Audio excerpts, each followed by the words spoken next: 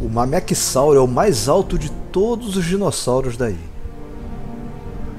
E reina solitário aqui sem se preocupar com tudo à sua volta. Já nos gramados, a grande migração de ceratopsídeos acabou. A vegetação que causa isso foi toda devorada pelos animais. E agora as espécies se espalharam pelo norte da ilha.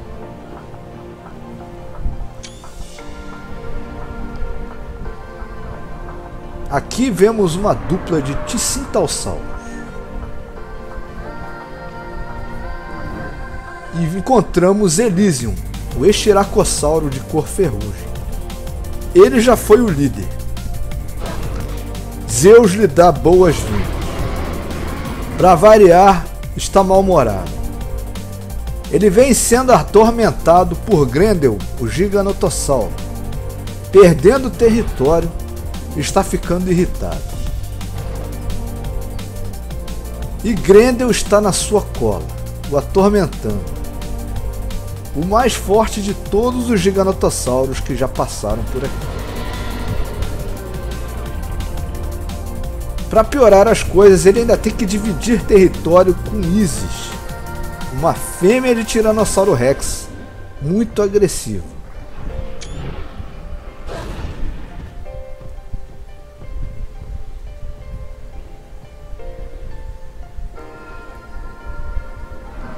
Os Estiracossauros retornaram da grande migração e agora estão espalhados pelo norte da ilha.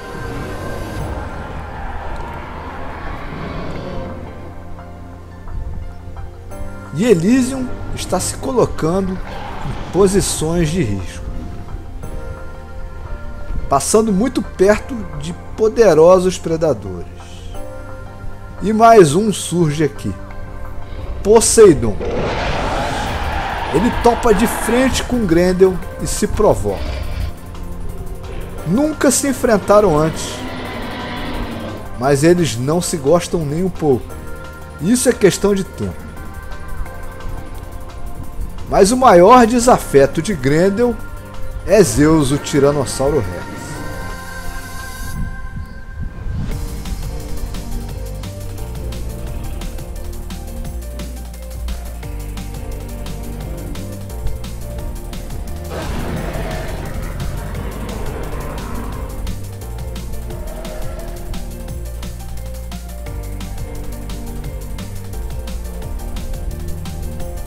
A liderança dos Estiracossauros está trocando de mão a toda hora.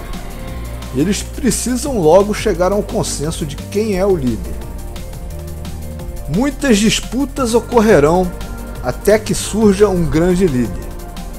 Mas os nomes mais fortes são de Elysium e Fargo.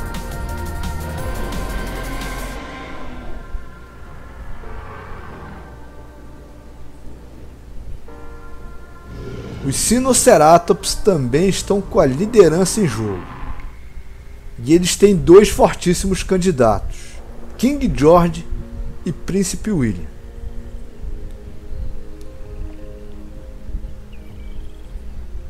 E por falar em King George, aqui está ele, carregando o status de alfa de uma pequena manada de Sinoceratops. Não de todos, Príncipe William está a seu lado. E agora ele é subordinado a King George. King George é o líder aqui.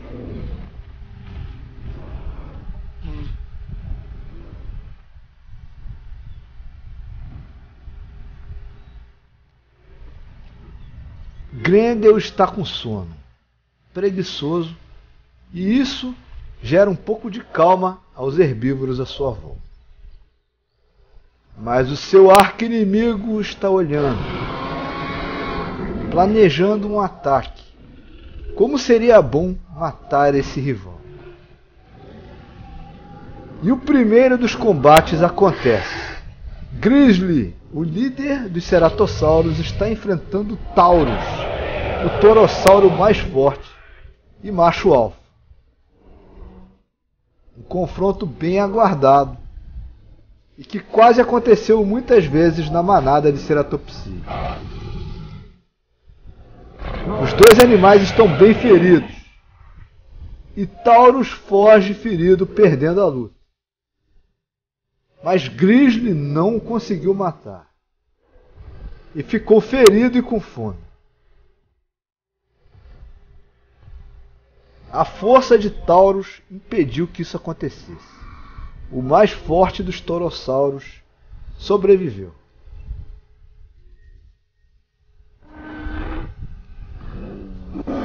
Odin está caçando um estiracossauro no outro lado do norte da ilha.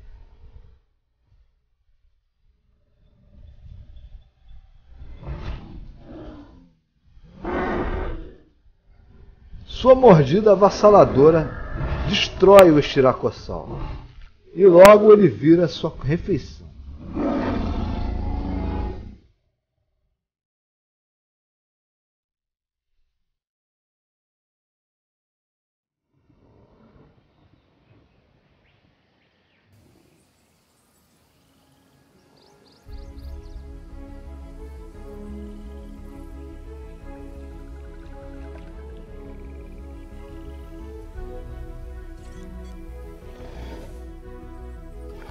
Finalmente encontramos Cássio. Agora um carnotauro de idade bem madura. Já habita essa ilha vivendo sozinho e prosperando aqui já há muito tempo. Testemunhou a passagem de dinossauros importantes, já vendo inúmeros partir.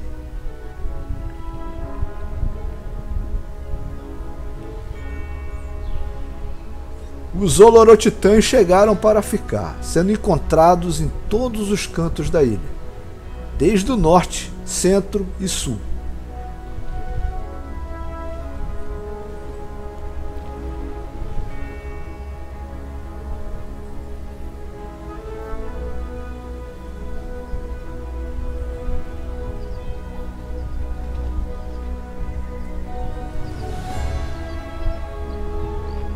Nos aproximamos do Monte Brutus, um marco do norte da ilha.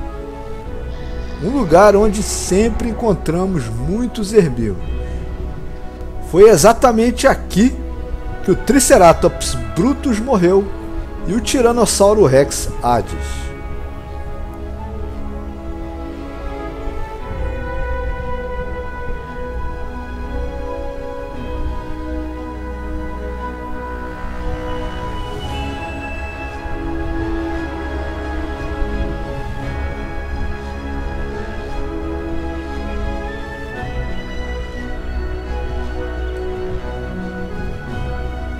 Alguns corpos começam a aparecer no chão. E esse Edmontossauro foi caçado por um Velociraptor. Existem Velociraptors soltos aqui. Só é difícil achá-los, por serem pequenos e ágeis.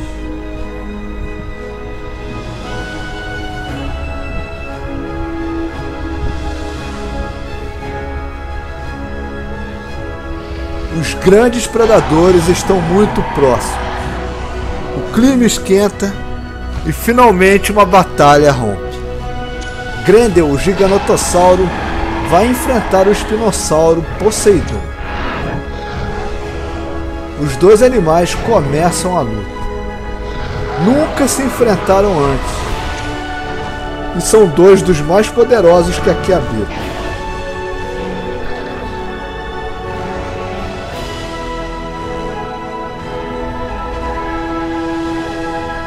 O vento enfrenta a água.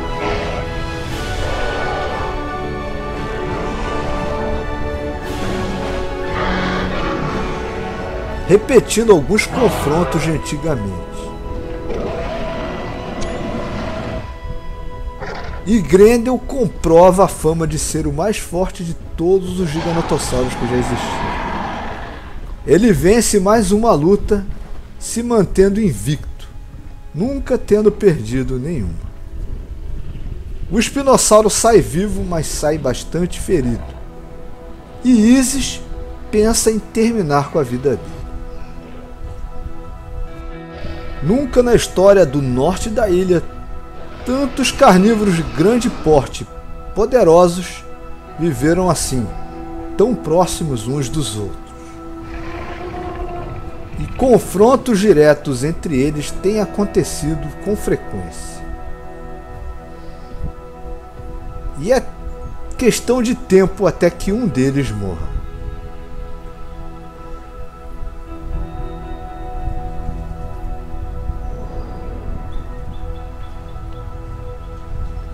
Os estiracossauros continuam reunidos sem um líder definitivo.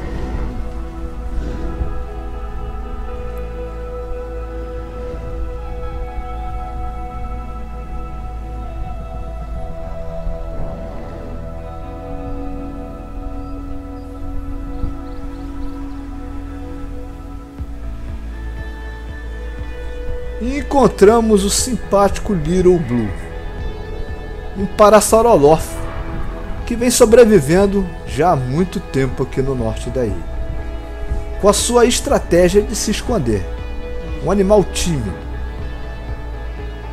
Príncipe William está aqui socializando, e a seu lado encontramos o difícil de encontrar Velociraptor.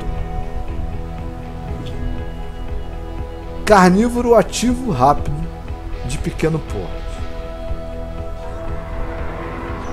Ele representa um risco severo a Little Blue. Little Blue sabe disso e está nervoso.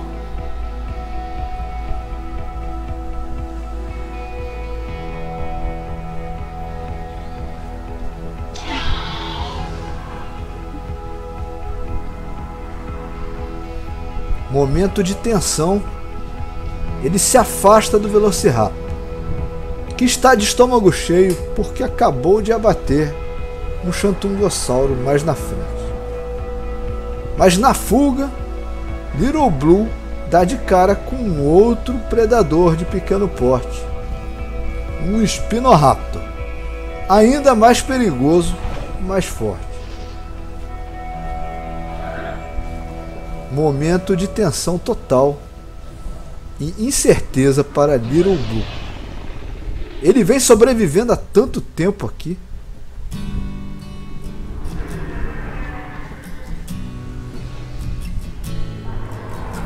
Mas hoje não vai ser o seu dia. Os animais não se interessam tanto por ele e seguem em frente.